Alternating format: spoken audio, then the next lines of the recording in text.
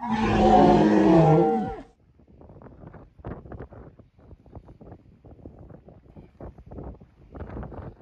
everybody, we are continuing our deep dive video comparison series on the Zoleo satellite communicator and the newly released Garmin InReach Messenger. So one of the things that gets overlooked sometimes is that you buy the device, but you also need to buy a monthly subscription plan in order to use these devices and to access features like weather, SOS, and check-in. So uh, what we're going to do here today is uh, go over some of my recommendations when I recommend people what to consider, what to look at when you're considering one of these two devices. So first thing we'll be considering the cost of the device. Second thing will be the uh, subscription plans, the best value, and the flexibility. Now, before we get too deep, let's understand why I mentioned those three items. First of all, these two devices are remarkably similar. Both will use the Iridium satellite network, both will offer uh, check-ins, SOS, weather, and of course you can send messages over Wi-Fi, cellular, or the Iridium satellite network. So that's why I like to look at those three areas. So let's start with device cost. All right, so let's start with cost of device. I'm not gonna say too many numbers, but my prices are in Canadian dollars. If you're in the US, just take 30% off. Uh, basically, uh, cost of device, right? 269 Canadian or 199 US, but the Garmin InReach Messenger is 369 Canadian. Quite a substantial uh, price difference between the two. Yeah, sure, maybe there's a few specs that you may want to consider, but if you're looking at budget, uh, this still does uh, very much in terms of value.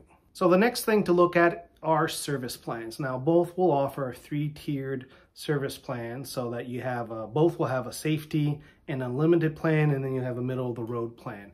Garmin gets a little bit more complicated because they offer a month-to-month -month freedom plan offering with different pricing and then they have your annual contract which offers a little bit lower pricing. The only caveat here between the freedom and the annual contracts is that freedom you're month-to-month -month, and of course, annual contracts, you're on the contract, you're locked in. Uh, as opposed to Zoleo, you just have those three tiers and you're month to month. So it's relatively simple. When you look at the pricing between the service plans, they're pretty much all within the same a few dollars here. You know, once you start factoring in activation fee, and on the Garmin side, you have you seem to have an annual fee regardless of freedom or contract.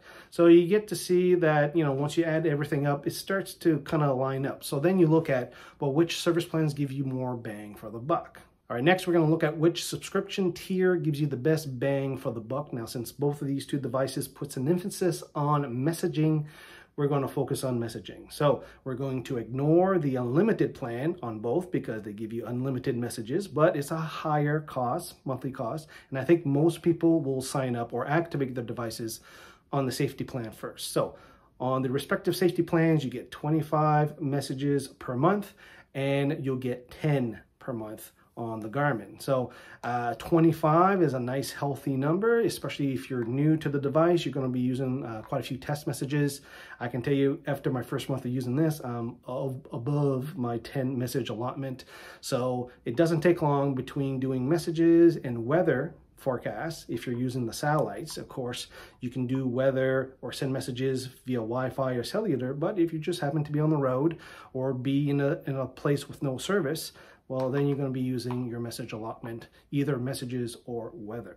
So a few years ago, we used to recommend people who had inReaches to say, well, if you're going to go on your big trip or something else that you might anticipate, you'll be sending more messages or doing more weather requests uh, to move up to the middle plan for your trip duration and then you can switch back down. Now, I'll be honest with you, 25 messages on the safety plan from Zoleo is a little bit more healthier that I don't see the need to switch up as opposed if I had a Garmin. So, but let's take a look at the middle tier anyway, which is called the InTouch, and this is called the recreational plan.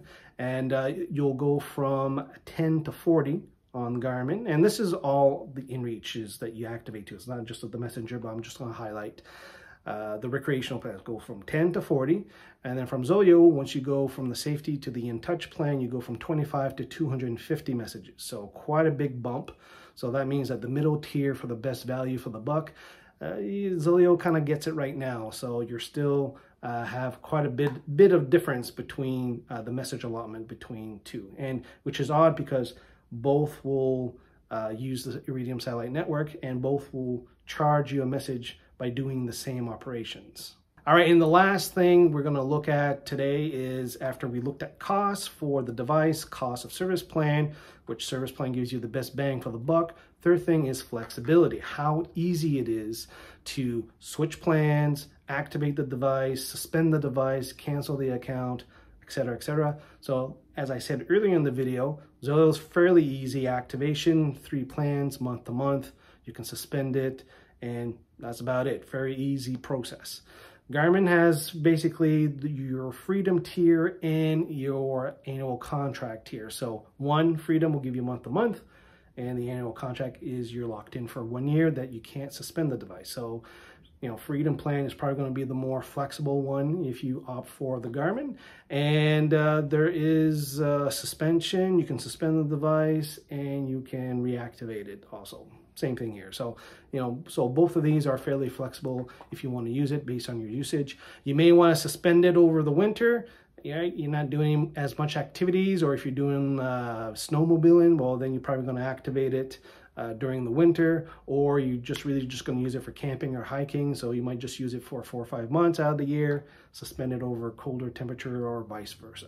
So in conclusion, if you stack up all those three items that we've talked about in this video, you'll find that overall Zoleo is the better value option, both in device cost and service plan, and it is fairly easy to manage the device. Not to say that InReach is not easily to, but when you start to stack everything up, you see that it's a little bit more complicated on the Garmin side. You don't get as much value out of your subscription tiers.